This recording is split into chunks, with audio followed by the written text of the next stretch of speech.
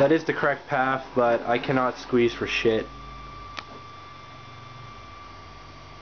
For most of these FCs, at least the on-disc FCs anyway, I'll probably be using the right path.